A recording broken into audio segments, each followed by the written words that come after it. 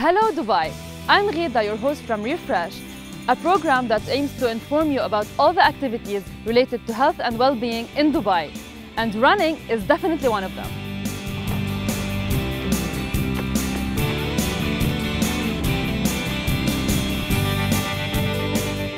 As you can see, running has become very popular in Dubai.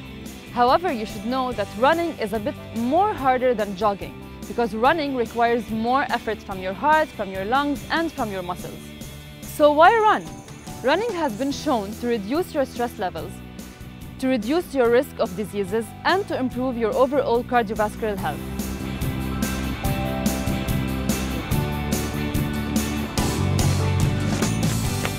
So I have with me here Alisar, who's a passionate runner that I bump into every time I go running.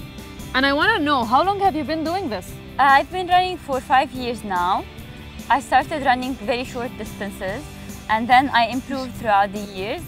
And now I'm training to run the full marathon, the 42K. Uh, I'm running since uh, 14 years, but Wow. I played 24 years football, soccer in Oh, Germany, okay. and then I start running. And how do you feel your body changed? Like, how did it benefit you?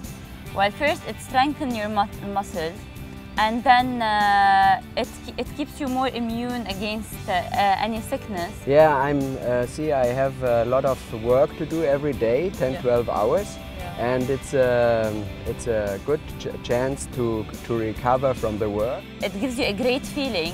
It reduces the stress, especially after a long day at work. And I like it to run here in the morning, enjoy the weather, enjoy that you can meet nice people.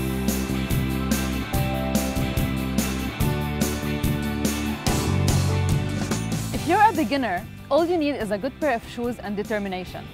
Don't be too harsh on yourself. Start with brisk walking and then start increasing your time and your pace over the weeks. There are some things you need to avoid while running.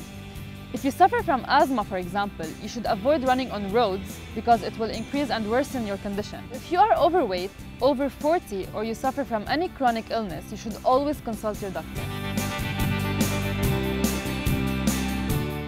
Remember that diet is very important whenever you're doing any type of exercise. When it comes to running, two to three hours before you run, you should have a large meal that consists of carbohydrates and protein, but of course the right type.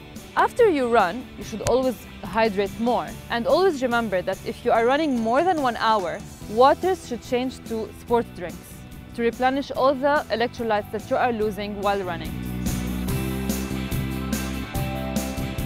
So where can you run? Running can be done inside your house on a treadmill or in a gym, or outside on a running track or in a park or even at the beach, which is my favorite spot to run. The best thing about running is that you can do it by yourself and it's completely free. You can run anywhere and in any direction. So till next time, stay fit and stay healthy.